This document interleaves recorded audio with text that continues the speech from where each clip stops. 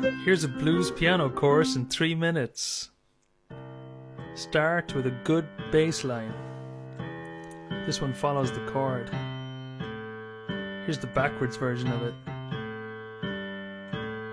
This is the classic left hand pattern, my favorite. Country blues. So pick one, get it really solid. It's going to form the backbone of your tune. The right hand plays mostly seventh chords, anticipating the beat.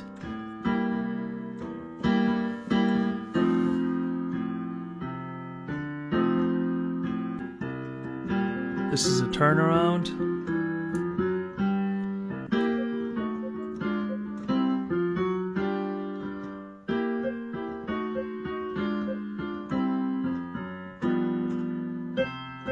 This is a contrary motion turnaround.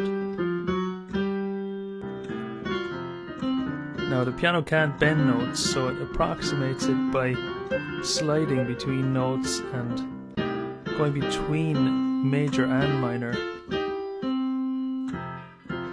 So these kinds of patterns are meat and potatoes for blues piano playing.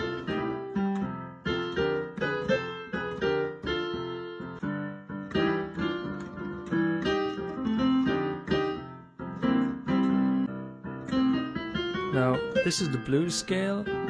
You can have different kinds of blues scale. This is the New Orleans one with major third and sixth, and then there's the Chicago blues, darker, flat third and flat seven.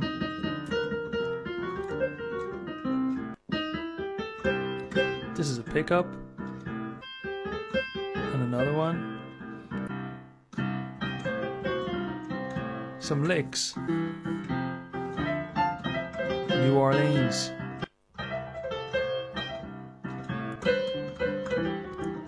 Blue scale.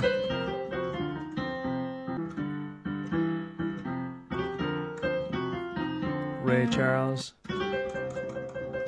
Trills. Always very effective. Mm. Triplets. Sixths. Octave runs, you can use the pedal on that. Clusters. Mmm, I hear it calling me now. Hopping on one note,